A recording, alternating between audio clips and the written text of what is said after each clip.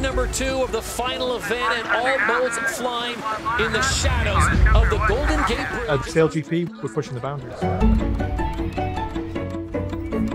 Previously, for our broadcast, we traveled with 20, 25 containers.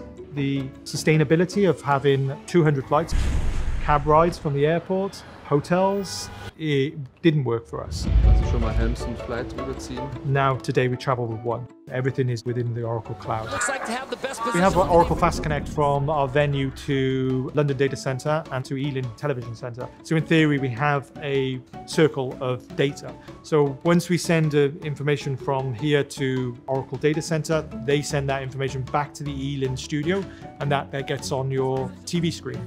The round trip for everything is around 300 milliseconds. It's the blink of an eye.